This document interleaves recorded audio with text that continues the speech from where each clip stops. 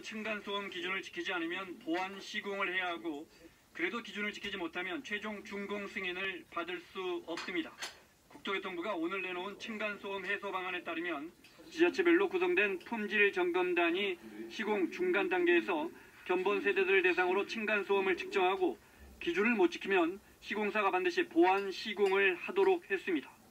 특히 보안 시공 이후에도 기준을 못 맞출 경우 준공 승인을 안 해주기로 했습니다. 지금도 보안 시공 기준이 있지만 권고 사항에 불과해 실효성이 떨어진다는 지적이 이어져 왔습니다.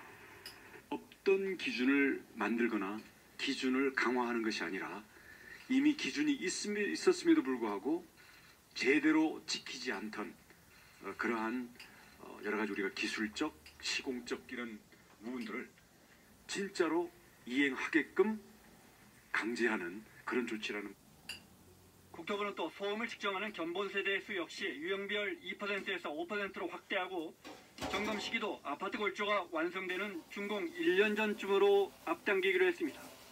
이와 함께 LH가 직접 설계하는 아파트는 오는 2025년부터 바닥 슬래브 두께를 늘리고 고성능 완충제를 사용해 층간소음 1등급 기준을 맞출 계획입니다.